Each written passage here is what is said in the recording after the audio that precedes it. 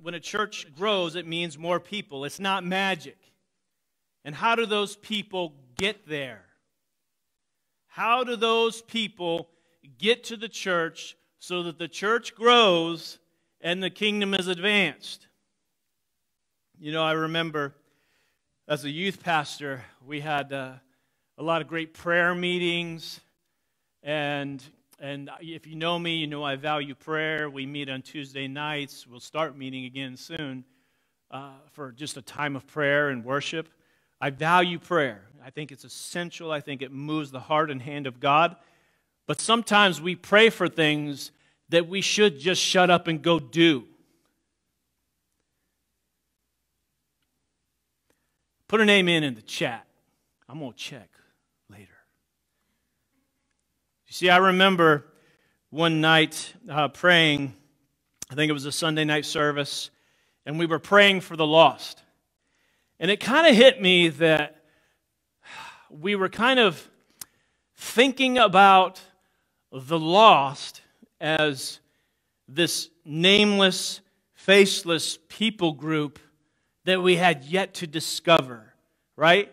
Like some hidden tribe somewhere that when we find them, man, we're going to lead them to Jesus. And I remember thinking how absurd that was. Because you know who the lost are? They're your neighbors. They're your coworkers. They're the people at school.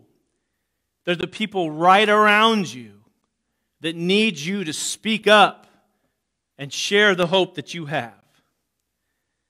It's not some group that one day you're just going to discover. God already has you planted right where they're at and is looking to you to reach them. If not you, then who? God has you there. What are you doing?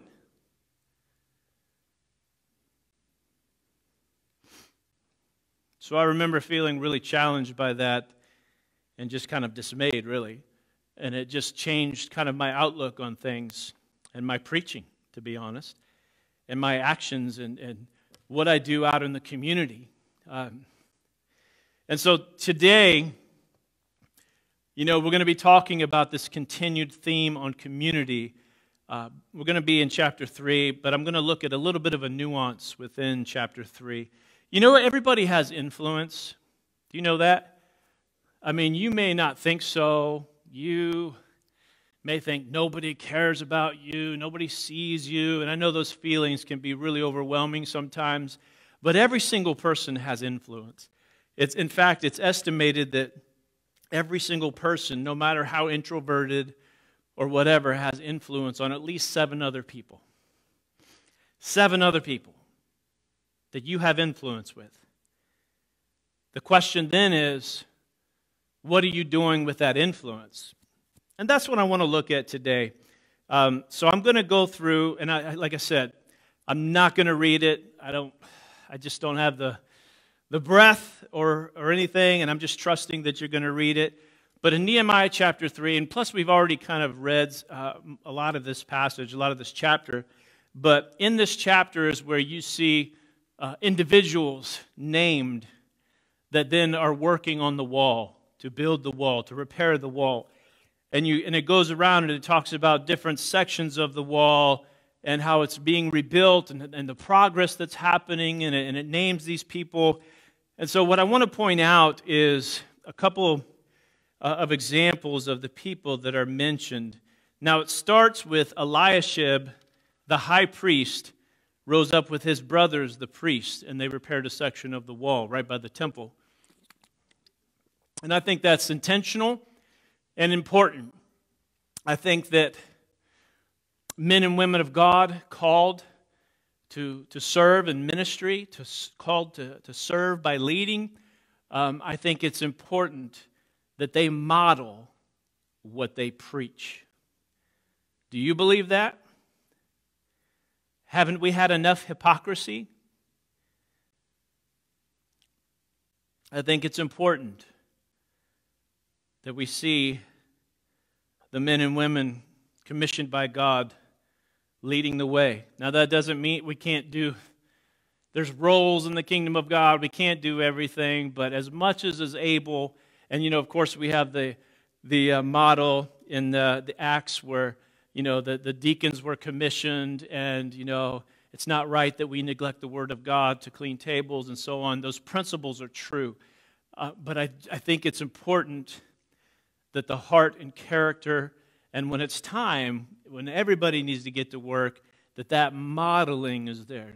I hope that you believe that with me. And then we go on and we read about different groups, groupings of people. The sons of uh, Hassenaah. Uh, so we have families that are on the wall. We have the uh, Tekoites. Uh, they repaired sections of the wall. And then there's a real indictment statement in this passage where it says, But their nobles would not stoop to serve the Lord. Do you remember the example I just mentioned about Eliashib and the priest? Here we have the contrary example to where the nobles, the ones with titles, the ones with leadership positions, would they forgot they are servants first. They would not stoop to serve the Lord. What an eternal indictment upon those nobles in the Word of God. And then there are those mentioned more than once, like Eliashib, the high priest, is also mentioned again later on as doing work on different areas. So he didn't just do one area, he meant, he's mentioned later on as, and repairing another area. And so, and the, or there's a, the man called uh, Baruch in uh, verse 20 that I think is worth highlighting in front of you this morning. I believe we have the verse, Nehemiah 3.20. It says, Next to him was Baruch, the son of Zabbai, who zealously repaired an additional section. I don't know what's in front of you, and I don't, I, you know, we have things to do around here. We have the work of the kingdom of God. But here we see somebody doing hard work, dirty work, who is doing it zealously for the kingdom of God. Is Jesus enough for you to work hard and do it zealously? Do you have a picture of him that will drive you beyond just grudgingly doing things. Oh, well, we need another volunteer in the nursery. I guess I'll do it. Zealously doing the work of the kingdom. Hey, Pastor, whatever you need, I'm here. I'm, I'm here to serve. Whatever I can do to advance the kingdom of God and the mission of this church, Pastor, I'm here. I'm praying for you. I'm here. Let's do this. Let's do this. I'm here. Man, I, I need more of that. You know, there are those who, are, who mentioned, like the Tekoite num- uh, nobles, who were too prideful and self consumed to do the work of the Lord. But here's Baruch, who zealously repaired an additional uh, section. And what I get from this is this the point is that God notices your heart. He's watching. He sees us, doesn't he? And there are always, listen, in the church, there are always those who will do more than others. I'm not telling you a secret, am I? There are those who will choose to do less, yet enjoy the benefits of those who work harder. And no, it's not fair. But life isn't fair. And why, why would you consume yourself by comparing yourself to somebody else? Just be like Baruch, who zealously did what was in front of him to do. Because we can't let bitterness and comparison enter into our hearts. God is a God of justice, and all will be exposed in the end as everyone stands before him. Don't worry about it zealously do what's in front of you to do. Amen? All right, thank you. I need you, I need you like triple time today because you, you're it. and then we read about the men of Gibeon and Mizpah and the seed, uh, uh, you know, the seat of the governor of the province beyond the river. We see groupings, people outside of the immediate community who are there to help. Uh, in verse 8, uh, Nehemiah uh, chapter 3, verse 8. Um, Uzziel, the son of Han- uh, uh, Harhaiah, uh, one of the goldsmiths, repaired the next section.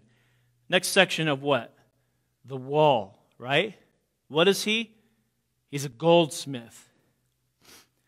He repaired the next section, and Hananiah, one of the perfume makers, made repairs next to that. They restored Jerusalem as far as the broad wall. And then we read about rulers of half districts of the city. We read about inhabitants of Zanoah. We read about temple servants who were there on the wall. We see people from all distinctions and classes and backgrounds, all laboring together to get the work of the Lord done.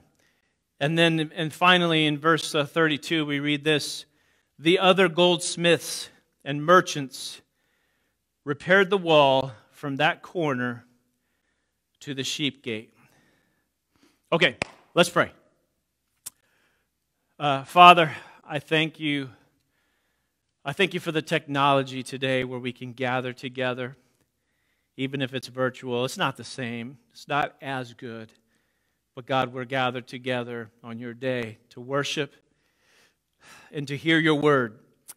God, I pray that you would fill me with your Holy Spirit, fill me with the, the Ruach HaKodesh, the breath of God.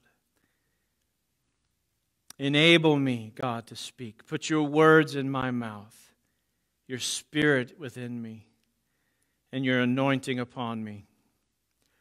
God, I believe that you have a word for us today. I pray that wherever anybody is watching this, whether it's live right now or whether it's watched later as a recording, that you would arrest their hearts and speak a word directly to them.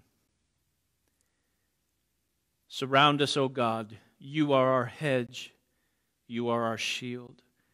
Those that are struggling with sickness of various types and recoveries, I ask for grace. You are the Lord our healer. We ask it in Jesus' name. Amen. So, can I tell you what I see in this chapter? Yes? Good. I see progress. Uh, I see a community of faith that is focused, that is motivated, and that is willing to work. But I, I've mentioned those already. What I believe the Lord showed me and wants me to talk to you about today is a different layer of that. You see, what I see in this chapter for today is not only the overall community of the post exilic Jews who had returned from captivity, who were working on the wall, but what I see in this passage today is also the smaller, connected communities that were a part of the whole. The smaller connected communities that were a part of the greater community known as the Jews. Did you, did you catch it as I was reading those distinctions? We've got priests, we've got groups of family members, we've got rulers, we've got servants, we've got rural, we've got metro, we've got community leaders and professionals, We've got blue collar industrial workers. We've got farmers. We've got commuters. We've got students. We have specialized craftsmen and skilled tradesmen. We have businessmen. You know, goldsmiths and perfume makers are swinging hammers and hauling dirt. We've got butchers, bakers, and candlestick makers. We've got all these groups, smaller bits of community that are working as part of the greater community. You see, Nehemiah came with the mandate in the favor of the king. He put forth the call and the vision, and the people responded. But it is it's within that response that I want to focus today.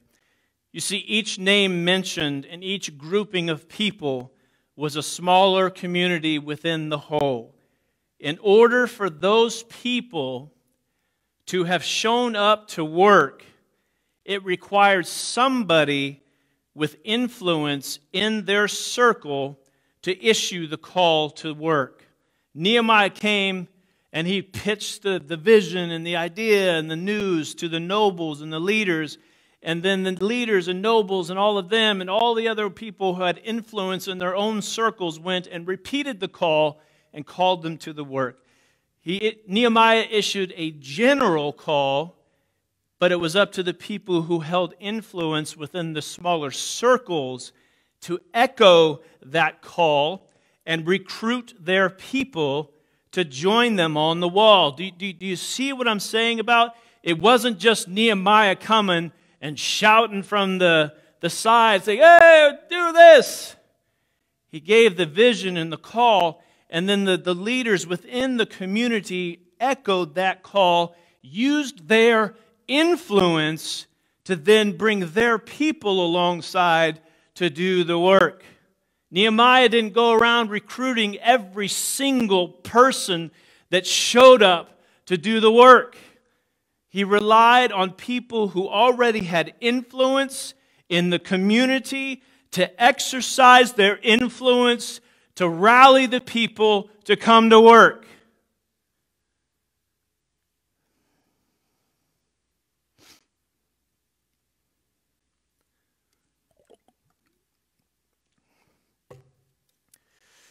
Do you know that there is an absolute war upon you straight from the pit of hell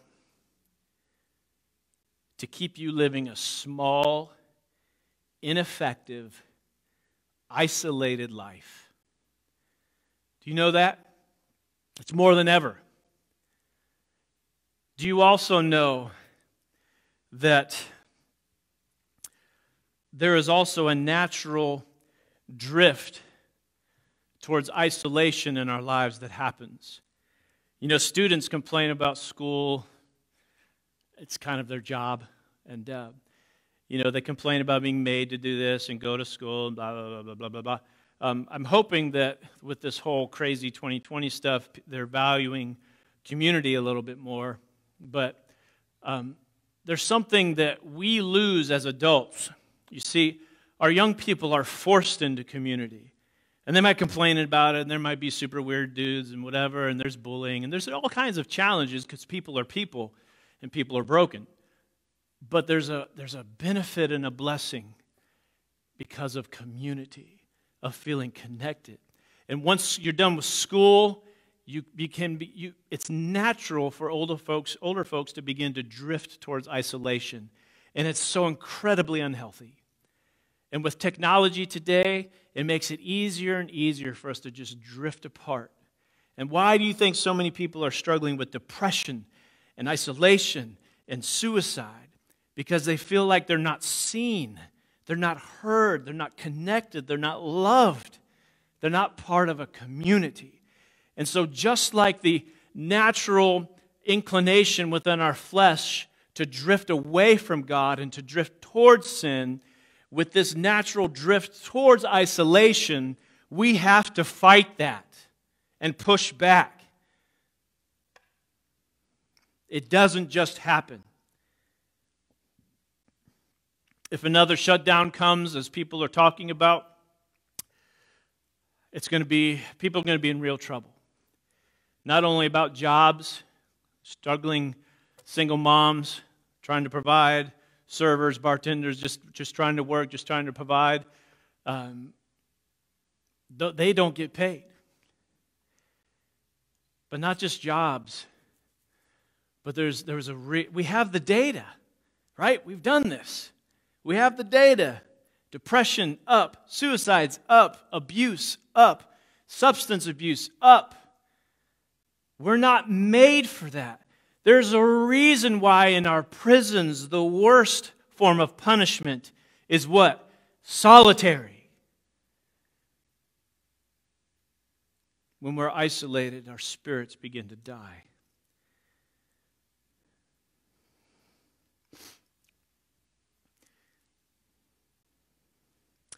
You know, everything we know about Scripture and our mission in this world is rooted in advancing the kingdom.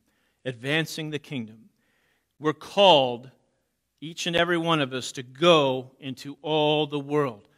Go. Go.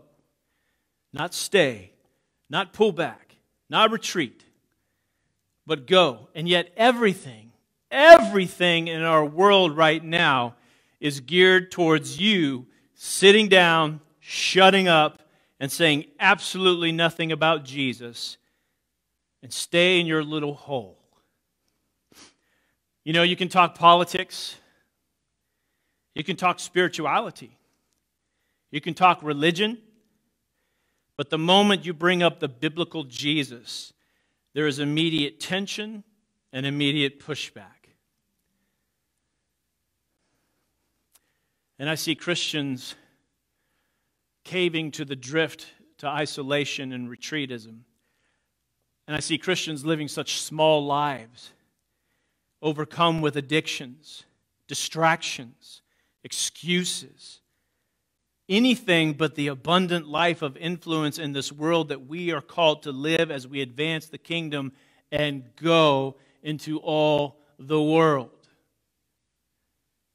There's a disconnect between what we are told to expect as a Christ follower in Scripture and what we are seeing in this world right now.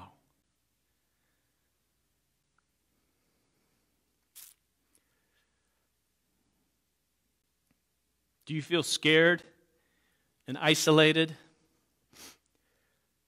Listen, I know that we are living in some challenging times right now. Nobody's denying that. You know the stuff I'm coming through and still trying to come through right now. Nobody's denying that. I'm here on a Sunday morning with a mostly empty building because this crazy pestilence that's been released on the world. I understand that. But I'm talking in general. You know, we, we, we are living in some challenging times right now, but greater is He who is in us than He who is in the world. Now is the time while everybody else is running away for the church to rise and advance. Listen, I recognize the season that we are in, right? The season. It's a season. You know, we, we live in the north, right? We're men of the north. And I know that winter is coming. Did you catch that? But I know that even in the middle of winter, what looks like inactivity on the surface is just covering the fact that the roots are digging deeper and deeper into life. We know that. We understand seasons. Just because it looks like no, there's no movement doesn't mean that God is not active. God began something here August 2nd, 2020, in the middle of the craziest year I can ever remember. God began something here at Creekside. You know, what a contrast. I talked to two women recently, um, two different conversations, two radically different conversations. One was freaked out about the times we're living in and so on and so forth. So forth. What do I do? What do I do? I said, listen, my counsel to you has not changed in 10 years. Get involved in a local church with accountable, loving relationships. Learn more about God and start that you there's nothing else I can tell you until you start obeying God and you know, oh, COVID, this is like listen, you've been paralyzed by fear way before COVID showed up. It's just the latest excuse. And then I was talking to a wonderful spirit filled woman this week about my recent fight with COVID. And she said something that stuck with me. She said that the enemy tried to rip out by the roots this new work that God has begun here at Creekside, but he failed. You see, the enemy knows you strike the sheep and the or strike the shepherd and the sheep scatter. That's scripture. You know, there's a, I, I believe there's a reason why um, I got hit with this COVID thing harder, as far as my knowledge, uh, harder than anybody else in the church. It literally almost took me out. I believe there's a point to that. I believe that there was a strategy to that. But the enemy was trying to uproot what God has begun. And, but you see, we're talking about a different kind of seed. It's, it's a kingdom seed. You see, 2,000 years ago, the kingdom of God was established a, a beachhead in a massive rescue operation that was initiate, initiated all the way back in the Garden of Eden where our first parents rebelled against God. And, and 2,000 years ago, with the death, burial, and resurrection of the, and the coming of the Holy Spirit at Pentecost, the seed of the kingdom took root. And it was so small and fragile. You know, 11 knuckleheads, you know, rejecting God, running away, denying Jesus. And all of a sudden, the Holy Spirit shows up 3,000 people get saved in a day, and that's not a whole lot compared to the world. But from that fragile, small beginning, the world was changed. That's the kind of seed we're dealing with around here. It's kingdom seed. It was tiny and weak, yet it was filled with the infinite will and resource of a father trying to reach his children. That's the seed that's planted here. And by His will and by His word, it will happen and it will spread.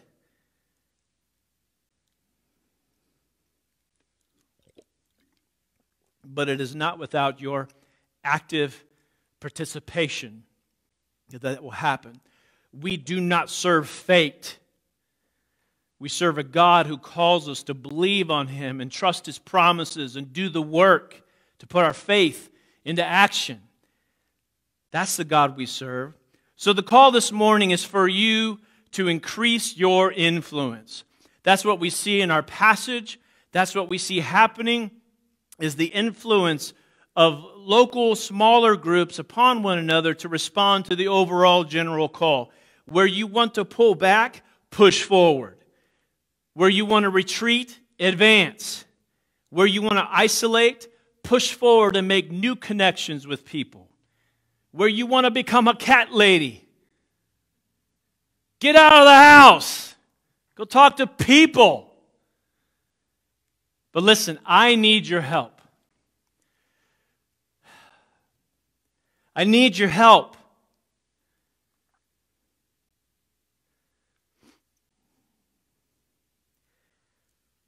Does anyone doubt my commitment to Jesus?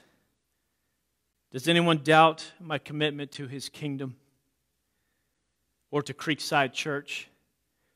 Have you been paying attention? Have you seen what my journey has been like from the very start, even up till now? Do you doubt my commitment to you, to this church, to the mission? I hope not. If so, you're not paying attention. I need your help. And in order for that to happen, I need you to start seeing things differently. I need you to put on a new pair of glasses. Your prescription's wrong. I need you to get it adjusted. Creekside is an umbrella, okay? It's a covering under which you need to begin to grow and you need to begin to build your influence within the surrounding community. This is not a refuge to come and hide. Do you hear me? We're not coming here to hide from the world. We're coming here to be equipped so that we can engage the world around us. This is going to be a launching pad for leaders and missionaries and young people called into the ministry. That doesn't happen without a new set of glasses. We need to see ourselves as kingdom agents out in the world rather than scared little refugees. Oh, I can't wait till church on Sunday, get back in the presence of God. Listen, greater is He who's in you than He who's in the world, and you need to start acting like that's true. Are you a student? You need to understand that you don't just go to school, you are sent to school, and you are sent by the Holy Spirit. God is, do you know Jesus and you're a student? God is counting on you to not shut up, not sit down, not deny Him, and not be quiet. Now, I'm not saying you jump on the lunch table and start preaching. Although, if that happens, I want video. But you need to begin to grow your influence and not bow to the pressure and the idols of this world. God wants to invade your school, and He's sending you in there to do it. Grow your influence for the kingdom of God. Are you a craftsman? You need to understand that God has given you the ability uh, not just to create and to provide for your family, but to apply that skill to advance the kingdom of God. We have a value around here that you can't outgive God. Now, we're not prosperity gospel people. You know, if you write a big fat check to the church, you're going to get a Ferrari. Okay? We don't believe that. I mean, I kind of believe you should write a big fat church to the check, or check to the church, but, uh, but what I'm saying is this the principle is this you can't outgive God, you can't match His generous heart. When you give to God your time, your talent, your treasure, He multiplies it back to you in so many different ways where you'll just be blessed. You'll be blessed. God has given you breath and ability. You say, Ah, I worked hard, I trained for that. Did you bring yourself into this world?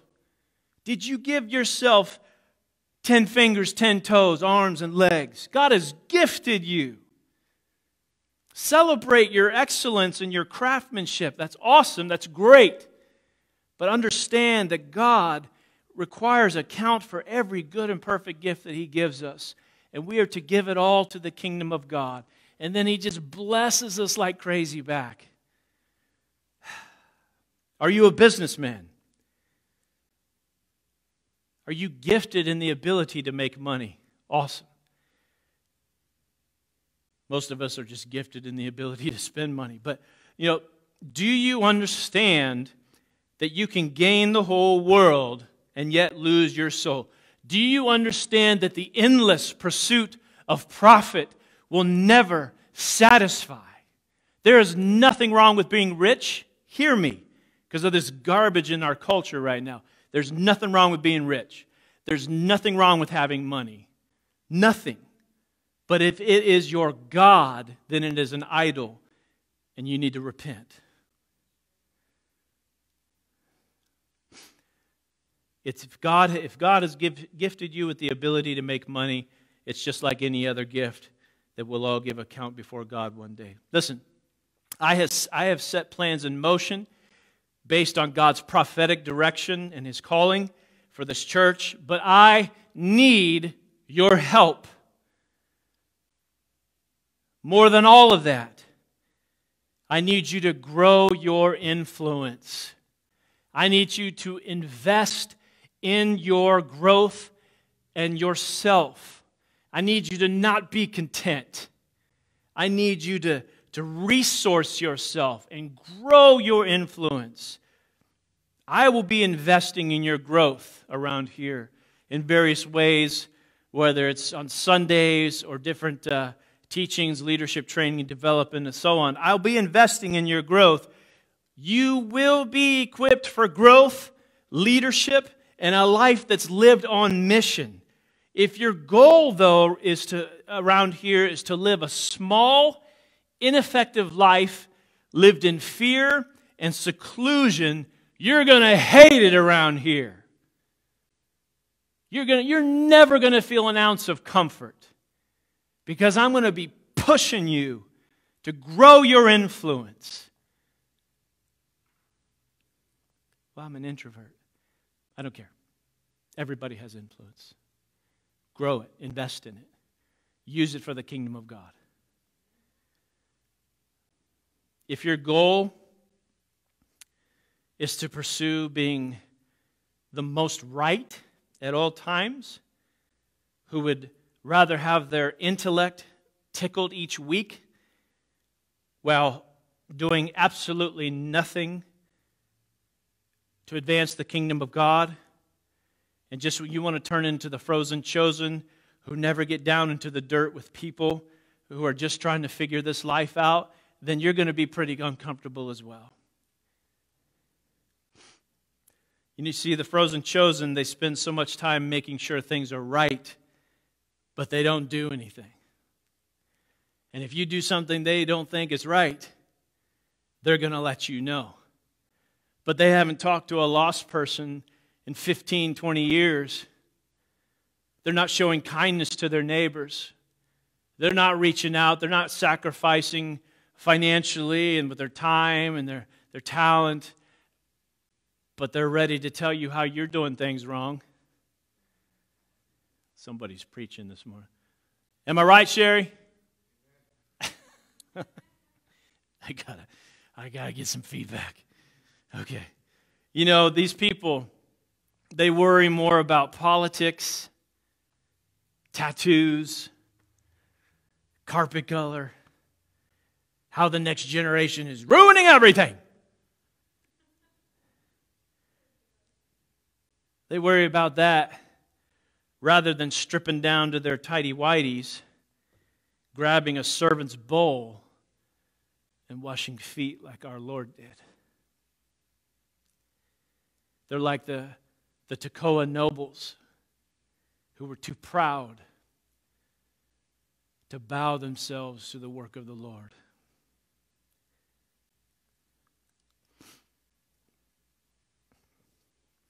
Are you feeling depressed? A lot of people are. I want, to I want you to know this. The past month, as I've wrestled with this COVID thing, it's unlike any other sickness that I've ever experienced. Of course, there's the physical stuff, but it hit me in my spirit and in my mental health. So that every day has been a battle. And if you don't fight back, you will be overcome. And if you isolate yourself, you will be overcome. If you're feeling depressed, if you're feeling isolated, if you're having a mental health, health battle, there's one thing that I can tell you that I've done that has helped me time and time again. It's get out and go serve somebody. You know, there's some concerns with COVID and all that stuff, but go visit a nursing home. Spend some time with somebody who's alone. Go find somebody worse off than you and just begin to pour into their life value and blessing and encouragement and before you know it, not only are they blessed, but you're blessed too. Go serve somebody. Get out. Stop being isolated. It makes everything worse. I'm convinced that the enemy is directing all of his uh, energy into isolating the people of God. But I need you to fight back. I need you to grow your influence in the community around you. You know, if it had not been for the influencers within Jerusalem who responded to Nehemiah and then added their own influence as they echoed his call, the work of God would have failed. There was just too much opposition. But because the people embraced the risk of rejection, the risk of failure, and even the risk of a loss of influence that they were attempting to use for good and for the kingdom, they were risking it if the people would have pushed back and said no. They risked it, and it didn't fail. Risk.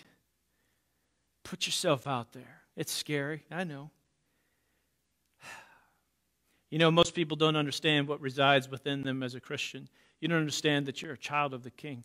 You don't understand that you're a daughter or son of the Most High. You don't understand that you've been adopted into sonship and daughtership with, with the King. You don't understand the forces that are around you. Like Elijah, who opened up the, prayed and opened up the servant's eyes, and he saw the army of God encamped around the enemy. You don't understand you think you're focusing on all the news and the darkness and the confusion and all the just the toxic speech and ideologies out there. You don't understand what's arrayed for you and what's in you. You say, What can I do? I'm so small and broken, and messed up. Listen, do you have a story? Do you have a story? Everybody has a story. If you're a Christian, you have a story.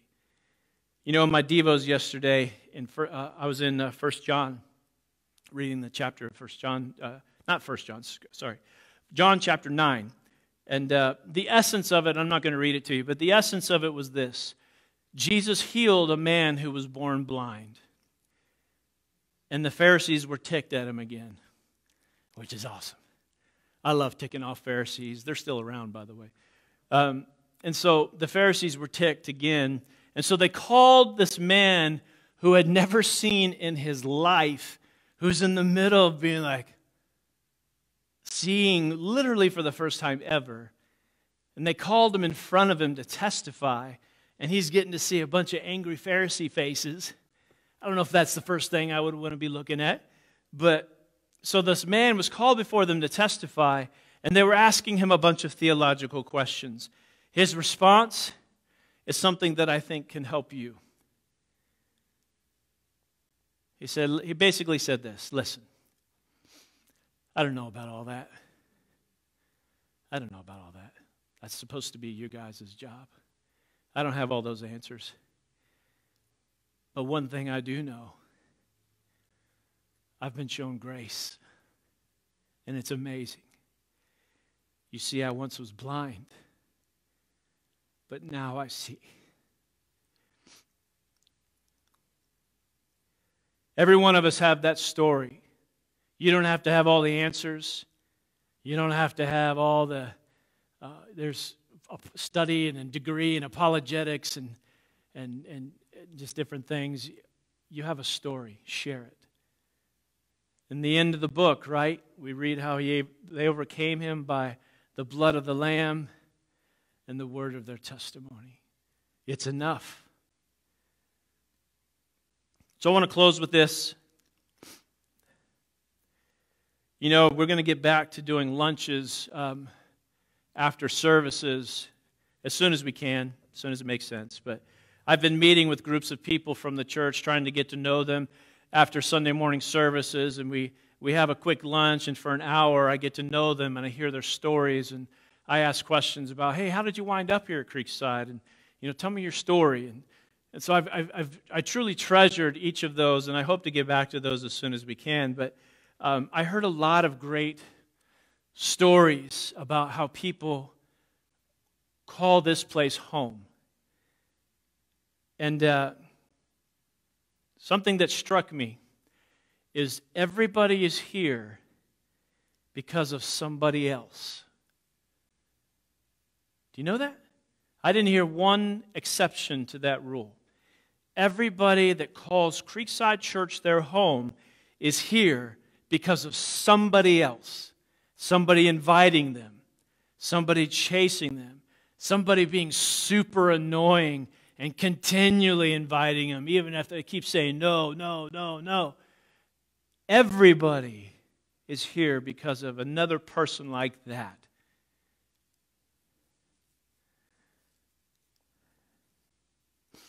And somewhere along the line, the people that call this church home, it went from being that person's church who invited me to come and got me here, somewhere it went from their church to my church, their community to my community.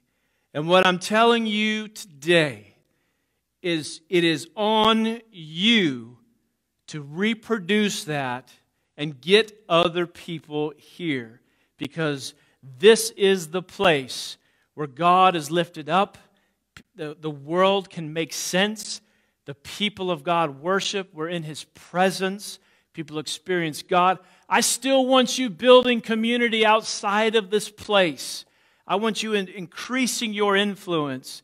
But the goal is always to begin to draw people to God. And if you're not comfortable talking to them directly about the Lord, then at minimum, invite them to church. Invite them to church. You got here somehow. You have to pass that on. It's not supposed to stop with you. That's not how the kingdom of God works.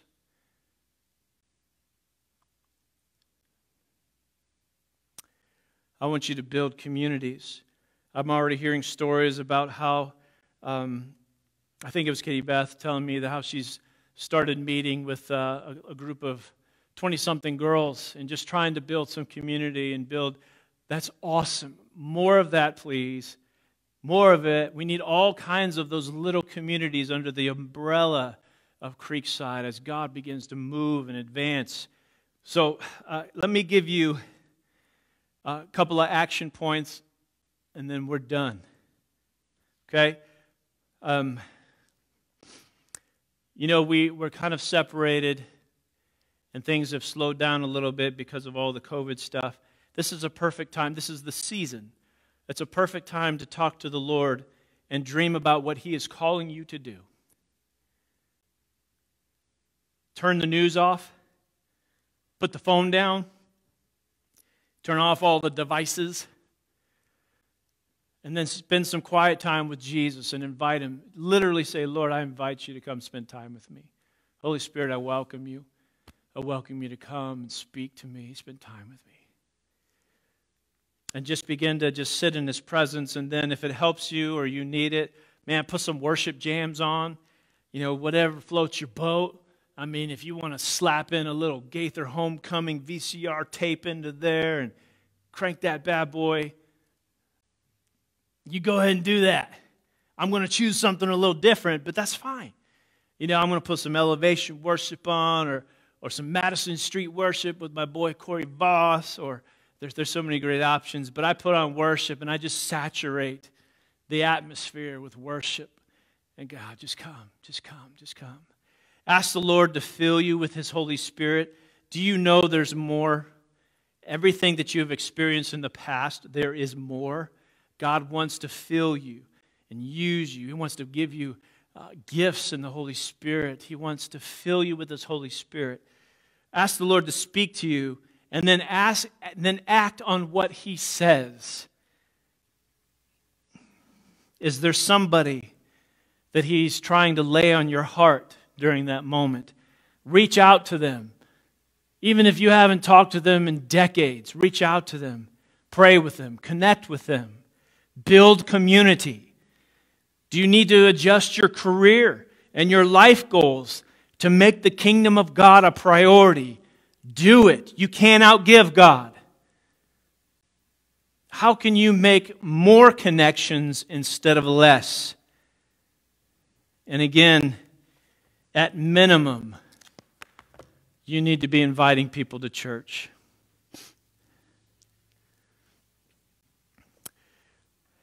There's been a constant prayer that I've been praying for Creekside for over a year now. You say, well, hold up. We haven't been talking to you for a year. Yeah, I know, but, but before I even knew this place and the possibilities, I've been asking God to go before me and build the team. I'm not a one man show, don't want to be, ever. I'm a team builder. And right now, I need your help. I'm asking God to build the team. I'm asking that as this message is going forward, that God is speaking to some people's hearts about building the team around here and building the community and, and be Nehemiah builders who can see by faith what only looks like small things right now or even rubble. I'm asking God to build the team. I'm asking Him to issue a call to people's hearts that will get them here, even if they don't even live locally. I'm asking God to build the team. I'm asking Him to build the team that will fulfill what He has spoken about what must happen moving forward. I'm asking Him. And I'm asking you to do your part. Invest in your influence. Begin to dream with God. The best days are ahead. The best days are ahead. And I know it looks dark right now, but listen, remember, we're people of the North. We get seasons. The roots are digging down. We're getting stronger. We're pushing towards more life. It's good. Don't get discouraged. Don't get isolated. Don't allow depression to take root. Fight back. Let's pray. Father, I thank you this morning that your word has gone forward. with technology and even into the heavenlies. God, I thank you that the words that have been spoken this morning are, are echoing throughout the Council Bluffs, Omaha area as you hear and you issue commands concerning your word. You have all authority. God, there's nothing that the enemy can plan that will stop it. No weapon formed against us shall prosper. Father, I thank you that you're in the middle of all this and we're not alone. Help us to press deeper into you. Jesus, we love you. I'm praying that you would come and walk these hallways as we see children being trained and raised up, as we see youth coming out of brokenness and addictions, finding hope and truth that sets them free. I'm praying that you walk these hallways and in this sanctuary where we gather together to worship you, lift you up as you set people free, as you bring new hope, new life. God, I thank you that next year we're going to see multiple services because you're going to bring your word to pass. I see it. I see it. We know that faith is the evidence of things not seen. I see it. And I stand upon it in Jesus' name. Amen. God bless you. We love you. See you on next Sunday.